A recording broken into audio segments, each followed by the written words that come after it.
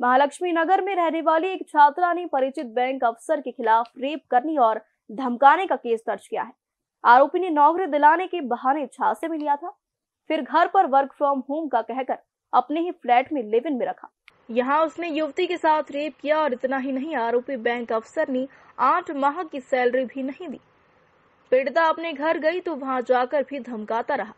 TI संतोष दूधी के मुताबिक 20 साल की छात्रा ने निजी बैंक के रिलेशन मैनेजर नवनीत कपिल निवासी नव रिजेंसी गीता भवन के खिलाफ मंगलवार देर रात रेप का केस दर्ज कराया है।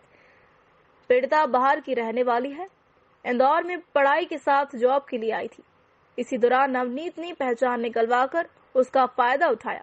पुलिस ने मामले में केस दर्ज कर आरोपी को हिरासत में ले लिया है।